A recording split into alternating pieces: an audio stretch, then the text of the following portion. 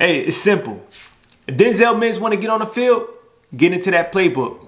Meet that standard. You are now tuning into Jets Hub with Mikey Facts. So Denzel Mims, a lot of people want to talk about him. Why is he not getting the respectable amount of reps that he deserves? He's a first round talent in the 2019 NFL draft, and he was selected in the second round. He has potential, tons of it. So what's the situation? Well, according to some people, and Robert Saleh himself, he does not know enough of the playbook. He only knows one position. They are acquiring all their wide receivers to know every position to get on that field.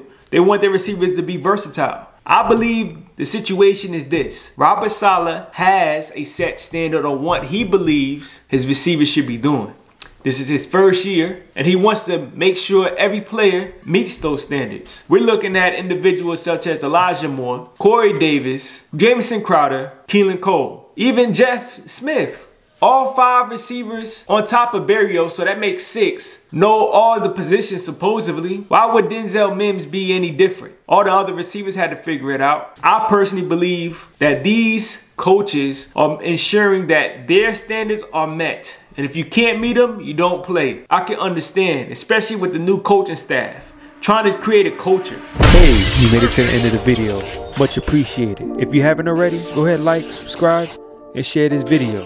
If you want to watch more, click above.